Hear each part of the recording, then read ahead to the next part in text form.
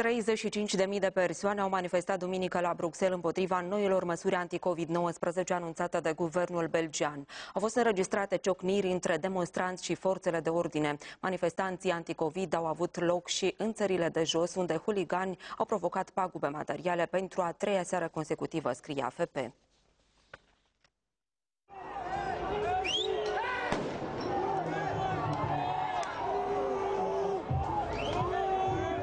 În capitala Belgiei, manifestația s-a desfășurat sub sloganul Împreună pentru libertate. Participanții au denunțat interdicția aplicată persoanelor nevaccinate anti-COVID-19 de a avea acces în locuri precum restaurante și baruri. Marșul de protest a început pașnic în zona gării de nord din Bruxelles, dar ulterior poliția a utilizat tunuri cu apă și gaze lacrimogene împotriva unui grup de persoane care aruncau pietre și sticle către forțele de ordine. Primarul orașului Bruxelles, Filip Cloze, a condamnat actele de violență. Au fost date instrucțiuni să se procedeze la arestări și la analizarea imaginilor video, a scris el pe Twitter. În urma violențelor, poliția a operat 42 de arestări. Trei polițiști au fost răniți, iar vitrinele mai multor magazine din centrul capitalei belgiene au fost avariate. Belgia, care a anunțat miercuri generalizarea purtării măștii sanitare, dorește să introducă obligativitatea telemuncii acolo unde este posibilă, în vederea limitării răspândirii coronavirusului virusului. Cu aproape 10.300 de noi infecții pe zi, Belgia înregistrează un ritm de propagare a coronavirusului care nu s-a mai consemnat de aproape un an.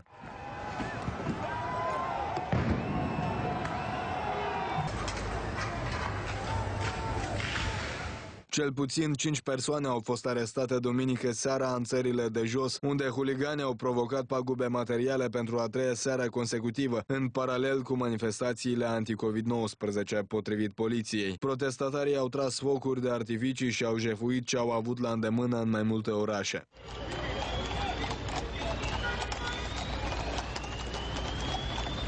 Tulburările au început vineri în țările de jos, când o orgie de violență a izbucnit în orașul Port Rotterdam, în care patru manifestanți au fost răniți de focuri de armă ale poliției. În total, 51 de persoane au fost reținute. Mai mulți polițiști au fost răniți în confruntări cu manifestanții sâmbătă seara la Haga, care au aruncat cu pietre, au incendiat biciclete și au dat foc de artificii. Peste 100 de persoane au fost arestate în toată țara, mai ales pentru insulte aduse forțelor de ordine, iar cel puțin 12 persoane au fost rănite în cele trei zile de manifestații.